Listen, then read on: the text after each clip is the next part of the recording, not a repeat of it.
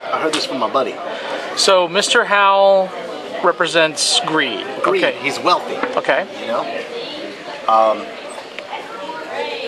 then you've got the skipper, big fat dude. Was he pride? No, no, no, the big fat dude. He, Sloth? He represents sloth. What does Gilligan represent? Well, you're skipping to the end, man. We Okay, I'm sorry, seven. geez, all right. We only got through two. Okay. All right. You've got uh, Get to him at some point. the beautiful starlet. What's her name? Ginger. She represents lust. Okay. And then, then the, the Western version of lust.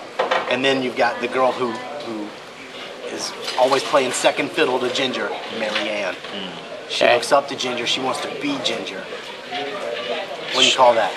Envy? Okay. Miss Howell is. Sloth. Miss Howell is sloth? Why is Miss Howell sloth? She doesn't do anything.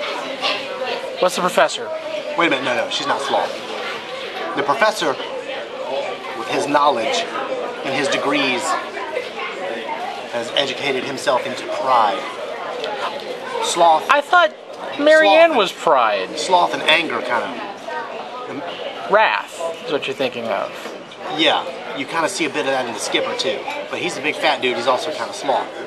Anyhow, you can assign the seven with one of the seven deadly sins. SpongeBob is much more obvious. Yes, because they did it on purpose. Yeah. But then it's Gilligan's Island. He always thwarts their plans to escape by being an imbecile. But mm. maybe he's not really an imbecile. He wants to keep them there because you got seven of them and one of him.